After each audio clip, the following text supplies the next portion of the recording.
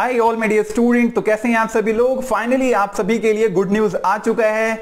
जो भी student tenth और ट्वेल्थ के सीबीएसई e से बच्चे थे, उन लोगों का आज जो कोर्ट के अंदर में हियरिंग होना था, वो फाइनल डिसीज़न आ चुका है कोर्ट की तरफ़ से। तो बच्चे कॉन्ग्रेचुलेशन आप लोगों के जो एग्ज़ाम है टेंथ और ट्वेल्थ क्लास के जो बोर्ड के बच्चे हैं, उनके एग्ज़ाम को कैंसिल कर दिया गया है।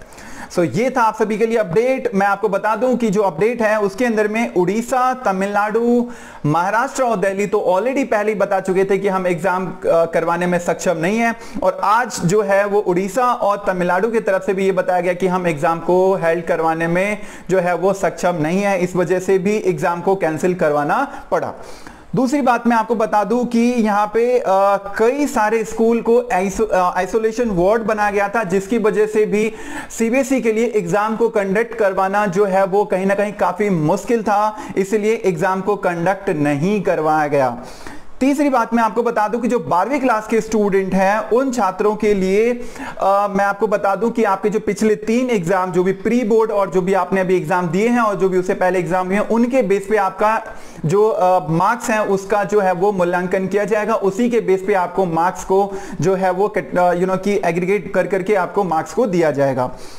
जो नेक्स्ट जो आपका अपडेट है, वो मैं बता दूँ कि जो स्पेशली ट्वेल्थ क्लास के बच्चे हैं टेंथ नहीं ट्वेल्थ क्लास के जो बच्चे हैं, उनको दोबारा से पेपर देने का जो है, वो ऑप्शन दिया गया है। अगर कोई बच्चा ये चाहता है कि मैं अपने मार्क्स को बढ़ाना चाहता हूँ तो आप अपने मार्क्स को इंक्रीजमेंट के लिए आप जो है, वो इंप्रूवमेंट के एग्ज़ाम दे सकते हैं, जिसका भी डेट फाइनल नहीं हुआ है, लेकिन मे भी जब सिचुएशन नॉर्मल हो जाएँगे तो हो सकता है ये सितंबर और अक्टूबर के आसपास में आपके एग्ज़ाम्स में भी होंगे।